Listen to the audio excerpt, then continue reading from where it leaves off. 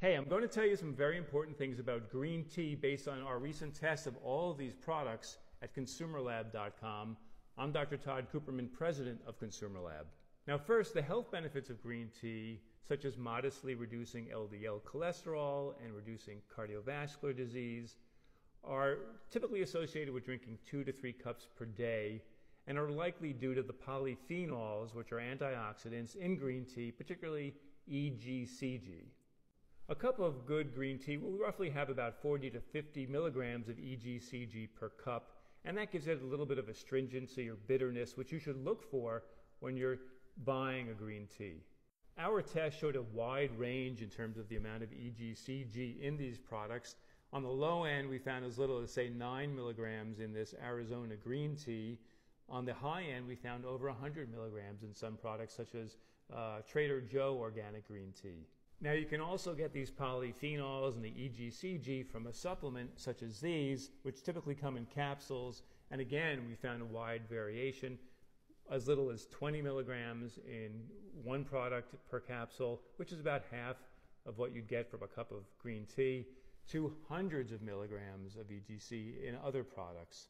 Now, I'm not really a fan of taking green tea as a supplement because there have been a number of reported cases of liver injury with those types of supplements, especially when they're taken without food.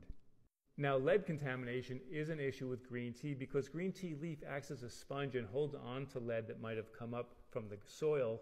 The good news, however, is that that lead tends to stay with the leaf when you brew it so that you're not actually getting that lead in the brewed tea. However, we did find that about three of these products exceeded the very strict California limit for lead, which is half a microgram per day, and pregnant women should avoid those types of products.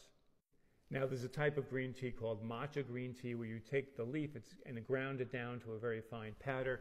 Here's an example of it over here. Now, since you're actually mixing that into water and drinking the whole thing, you are getting that leaf as well. Fortunately, neither of the matcha products that we tested were contaminated with lead. Now, there is caffeine in green tea, just as there is in coffee, but at a lower level in green tea. If you're concerned about that, you can get a decaf green tea. We tested several of them and found about eight or nine milligrams of caffeine per cup, which is actually a little bit higher than some of them are uh, proclaiming on their websites, where they might say zero to two milligrams, but it's still a relatively low amount.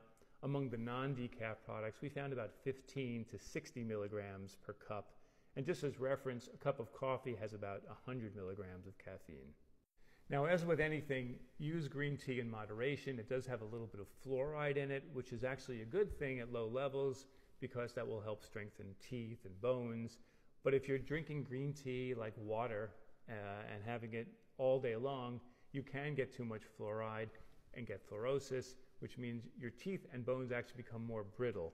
So if you're one of more than 95,000 members of Consumer Lab who support our research, you can go online right now and see our results for each of these products as well as our top picks.